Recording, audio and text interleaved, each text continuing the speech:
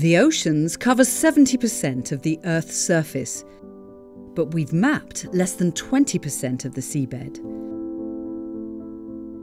But now, to help meet one of the UN's Sustainable Development Goals to ensure the health of the world's oceans, GEBCO, a group of leading scientists, along with the Nippon Foundation, have teamed up to do what's never been attempted before. The goal of this project is to give us a comprehensive and complete map of the ocean floor by 2030. We know the surface of the moon and Mars much better than we know our own seas. And the aim of the project is to change that. The minute we have a full and comprehensive map of the seafloor, we'll understand our planet Earth much better. Seabed mapping is vital for the security, safety, and economic health of the world.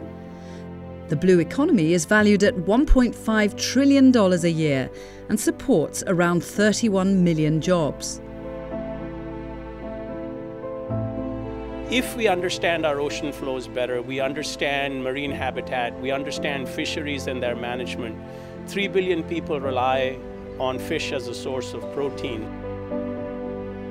The shape of the seabed is critical to understanding ocean circulation patterns, tides, wave action, sediment transport, tsunami wave propagation, underwater geohazards, and resource exploration. With 1.1 million kilometres of submarine cable, we're also starting to use our ocean floors to stay wired and globally connected. It could take one ship equipped with a modern multi beam echo sounder around 350 years at a cost approaching $3 billion to map the ocean floor deeper than 200 metres. So, this project is taking a different approach. The idea behind crowdsourcing is to leverage the assets that are already at sea. Seabed 2030 doesn't have to put out ships every day to map the ocean floor. If you look over my shoulder, there's fishing boats. And if these fishing boats, and there's more than a million of them, are equipped with sonar equipment, they can contribute data to us. So fishing boat captains can contribute data. If you're a container ship company, we can do with your data. If you're a cruise line operator, then we can use your data.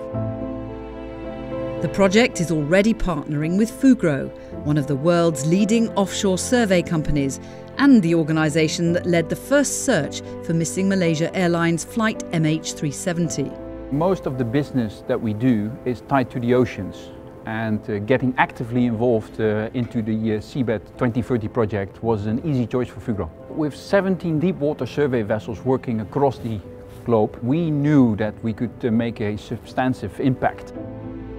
We used uh, the data of four vessels transiting from one project to the other, capturing data more than 100,000 square kilometers of high resolution bathymetry data.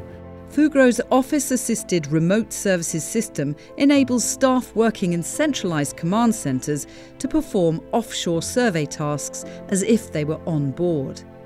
This innovative technology means the company can collect these in transit datasets with minimal interruption to its normal operating procedures.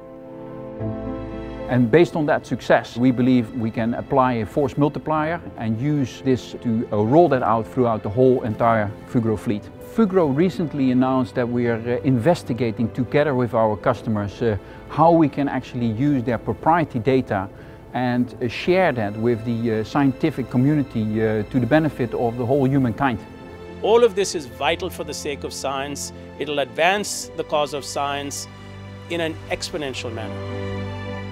Seabed 2030 is encouraging the entire marine community to support this important mission, which will help us to use the ocean more sustainably and undertake better scientific research for the benefit of everyone.